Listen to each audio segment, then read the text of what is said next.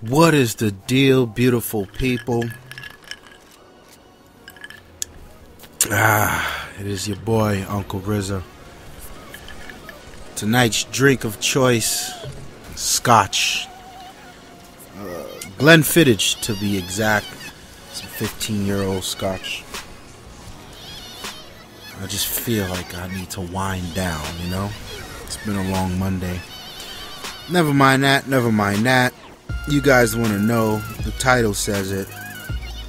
Halo Master Chief Collection ruined my marriage.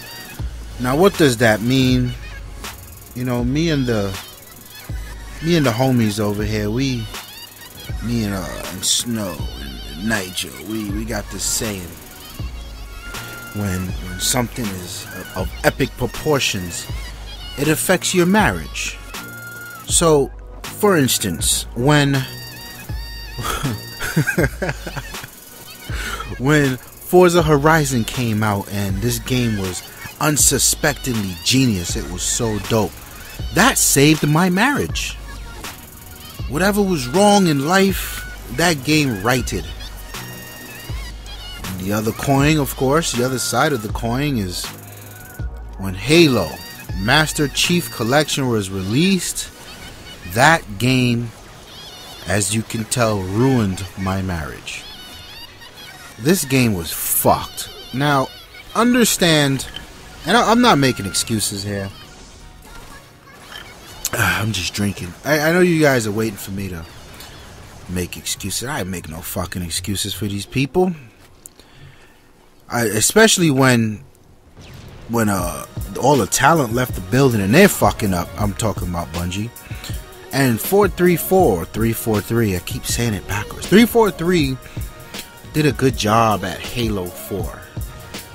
Uh, a lot of people complain about that game for whatever God knows reason. I thought that game was great evolution evolutionary step in Halo and I loved it. And uh you know, at the last E3, they got us all riled up with this this uh, feature, a, a, short video of Master Chief in the snow, some big ass Final Fantasy shit hopping out the snow, whatever. And then they they spoke about the Master Chief collection preceding the Halo 5. Now, obviously, Halo 5 is the bombshell, and the the Master Chief is to hold us over until we get there. But this was supposed to be so much more than that. This was supposed to be uh, a real, like, uh, reintroduction to the Halo world to prepare you for Halo 5. And it was supposed to be such a, a elegant deliverance. You know, you you get every version of Halo mostly, right? Because Reach is missing, ODST is missing. Uh, some people argue those two are useless. I would like to have seen them here.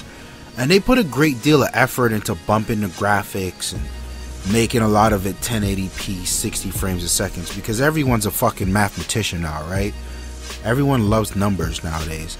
So they matched the numbers and shit looks great. They reimagined a lot of the maps and they did a really good job at that. And it was just amazing.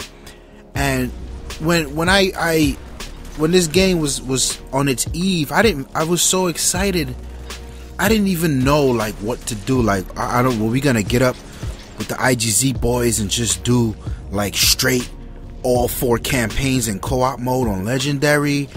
And that was enough. That was like porn, right? Or would we just like get online and just play capture the flag and and do Halo shit?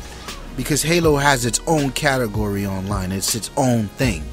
It's that big. I I couldn't even like I couldn't fathom what to do and then boom, day one hits, 20 gig download. You motherfucker. You know, so on top of the, the 40 the 40 gig download that takes about eight days on the Xbox One for some strange reason, uh, and I got to do a video on that and why it takes three times the amount of time to download a packet on the Xbox One. Never mind that. On top of that first 40, you're gonna throw another 20 at me day one? What the fuck? But it doesn't end there. The game comes out and it's broken. Fucking matchmaking does not work. Now, sure, you can play custom games, and I feel like for us, custom games is where most of the fun can be had because we got a big group of friends that just want to talk shit to each other. And this is this is where Halo made a lot of its its uh its legacy. Fine, but don't force me to only play uh, the the custom games. No, get these playlists right. Get the matchmaking working. And this shit went on as of today. It's about tomorrow because today is the 11th 11 17 so tomorrow will be the tuesday that it was launched. So tomorrow will be a week and the patch is rumored to come out on wednesday. So a week and a day is what it took to fix this. And they've been making incremental fixes here and there. They tweaked the servers but it wasn't the servers. They kept they they took away playlist so that it'll have to search for less time because there's less playlists available it's just a clusterfuck. And the thing about this game was, out of everything that was launched on the Xbox One, this was the number one mainstream game. Because it didn't matter if dudes had a PlayStation, if they had a Wii, if they had a PC, everyone knew Halo. And everyone wanted a piece of Halo. And I've seen people went out there make some very rash decisions to get Halo and they can't get on it. It's such an opportunity missed.